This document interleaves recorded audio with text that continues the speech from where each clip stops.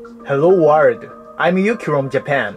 In Japan, it's considered to be very safe, but there are still a lot of murders in Japan, and there are also a lot of strange types of killers. 13 years ago, a person on the criminal wanted list walked in the city whilst hiding his identity. The killer changed his own face with surgery using scissors to avoid being arrested by police. He avoided capture by the police for two years and seven months by using many false names and he had over 100,000 police investigators across Japan searching for him diligently. So, he was a vicious killer, but this also impacted us in other ways, because his fugitive lifestyle was very dreadful and creepy for the Japanese people. I will be introducing the ways he avoided captures and present examples from his own journal. Journal of Murder. His name is Tatsuya Ichihashi. In 2007, he was 28 years old and lived in Ichikawa City, Chiba Prefecture. He didn't have stable employment and he lived alone in a spacious apartment provided by his father who was a wealthy doctor. His parents gave him 150,000 yen every month, so he lived an idle lifestyle. He tried to become a doctor, but he failed the entrance exam to medical college. Instead, he entered the Department of Horticulture. Even though it was a prestigious university, he had an inferiority complex because he was not part of the medical faculty. That's why after he graduated from university, he didn't work and lived a self-degrading life. One day, he got a crush on certain girl. At midnight on 20th March 2007, he met a pretty British girl named Lindsay Ann Hawker. She was 22 years old. She became the victim in this murder case. He became attracted to her and began talking to her, but she ignored him and tried to pass by him while she was riding on her bicycle. But surprisingly, he ran after her and followed her to her house. He asked her to let him into her house to give him a glass of water. She was a nice person, and his father is also a good person. It was his father who permitted her to live in Japan because Japan is the safest country in the world. She also thought that was true. So we Japanese people all the more hate criminals. That's why she accepted and gave him a cup of water at her house, which she was sharing with her friend. He tried to ask her to teach him English, but she denied it. But he didn't give up on her. He tried to draw her to get her attention. This is a picture that was drawn by him and he wrote his name and his email address on the picture to contact her. He handed her the picture and said, Teach me English later. I want to study English. He ended up making an appointment to have English lesson with her. Five days after, it was March 25th. They had an English lesson at the cafe near to Gyotoku station in Chiba Prefecture. After the lesson, he said that he forgot to bring the money to pay her and he lived near the cafe. They should go to his house to collect the money for the lesson. She was so busy on that day. She had work after that, but she accepted his offer to go and get the money. Then, they got a taxi and went to his house. After that, Lindsay Hawker disappeared.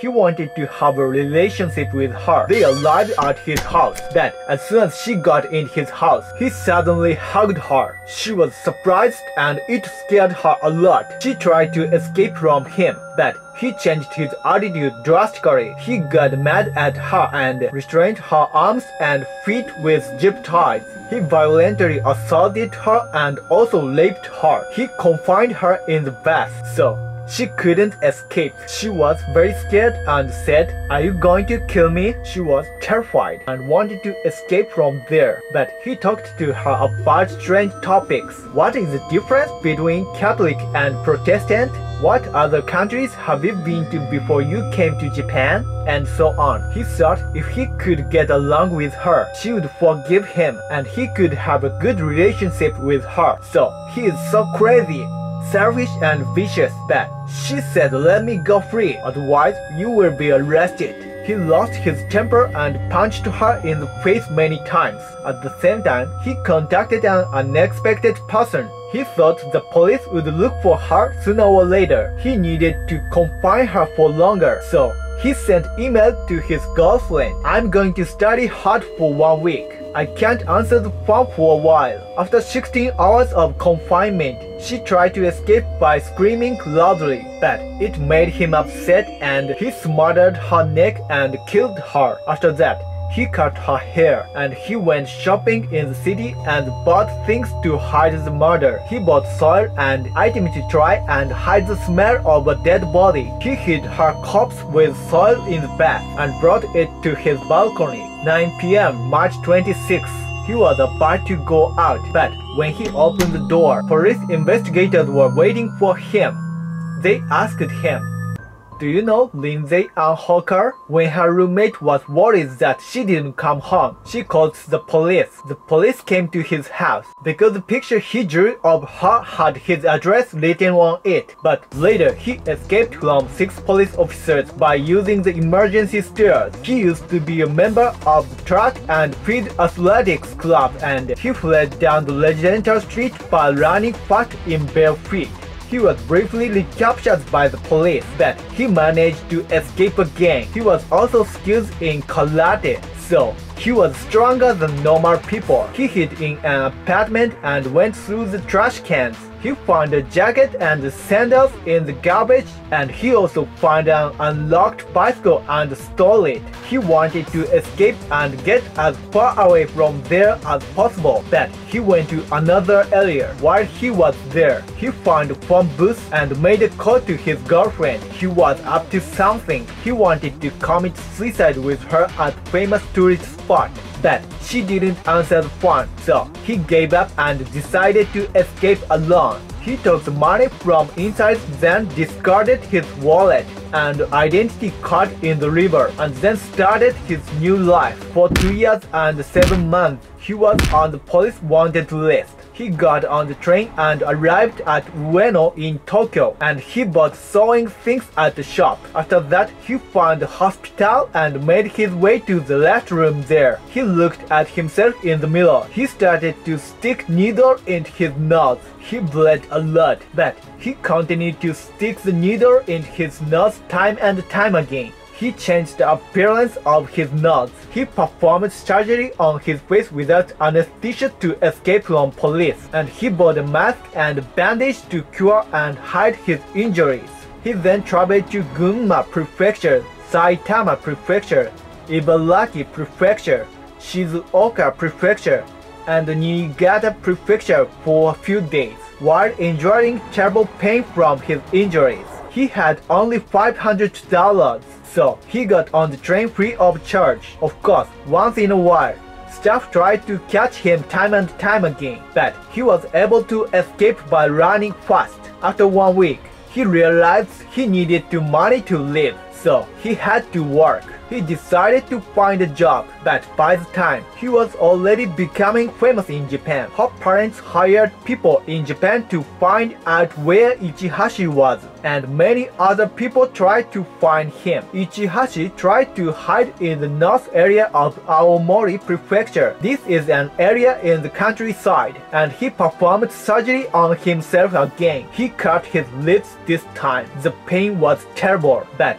he thought it was better than being arrested. He believed if he was arrested, he would be executed as punishment. Soon, he decided Aomori Prefecture was not a good place to find work, so he went to Osaka to find work instead. He went to Osaka but when he passed the police office, he saw his face on wanted poster for the first time. He felt really scared and was shaking. Then he came up with an idea to solve the problem. I should go to 88 temples in Shikoku to bring her back to life. He was crazy. He had read this once in a certain novel before. It made him believe that if he went to 88 temples, she would come back to life again. 2007 mid-April, he arrived in Shikoku. He wore a baseball cap, mask, and glasses. He was listening the news on the radio. He listened for the news about himself and murder. After one month, he realized that she couldn't come back to life. So he finally accepted reality and he had been very hungry for a while. He made a decision to live on an uninhabited island. Then he went to the library to look for a suitable island. When he read a novel about Okinawa Prefecture, he thought he had found a suitable and inhabited island. He got the idea to live in Okinawa because of the novel, and he went to Okinawa after that. At the same time, police began to hunt for him more diligently. Ichihashi had the price on his head, 1 million yen, so $10,000 he started to live on Oha Island in Okinawa. But surviving on Oha Island was much harder than he expected. He couldn't get drinking water or find food easily. He grew some vegetables. He tried to eat anything he could to survive, even poisonous snakes. But he suffered from hunger and dehydration. It was really hard to live there for an amateur. After a week, he gave up trying to live on Oha Island and decided to work in another place. 2007 June, he moved to Nishinari in Osaka. This is a kind of dangerous area in Japan. He thought if he could hide his identity, he could work in the area. But once again, he saw his own face on wanted poster there. The wanted poster described him as having two moles on his left cheek. Then he cut the moles off by himself with a knife to change his appearance, and he worked at construction sites around Osaka, Hyogo Prefecture, and at Fukui Prefecture for a while. He introduced himself as Kosuke Inoue, Kazuo Fuji, Takeshi Iijima, and more, and he learned ways to live on the island at the same time, and he saved up enough money to live for a few months. But one day, one of his colleagues was talking to him. He had seen a program on TV about the search for a killer who had murdered a British woman. Ichihashi was surprised and he thought staying too long at the same place was dangerous. Then, he tried to move to Oha Island again. He learned how to live on the island. So, he could stay there for longer periods of time. When he used up his money, he went back to Osaka to work for a while. So, he went back and forth between Okinawa and Osaka time and time again. It had been two years and six months since he had become a fugitive. But the parents of Lindsay Ann Hawker continued their efforts to find him. That's why many Japanese people still remembered Tatsuya Ichihashi, and he had an even higher price on his head. It was raised to 10 million yen at that time. So, if you caught him,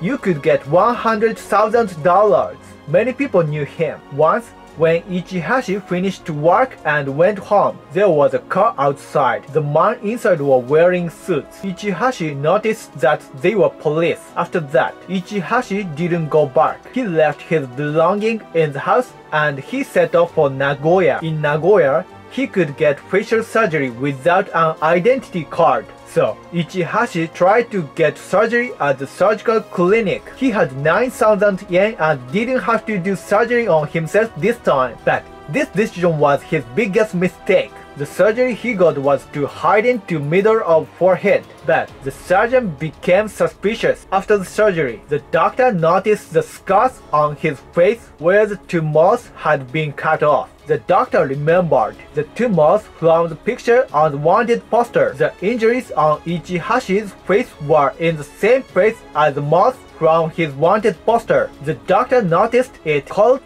the police at once. The police was waiting for him at the hospital on the day that he was supposed to come and get the sutures removed at the surgery. But he didn't show up because he already noticed the doctor had identified him, so he didn't come back.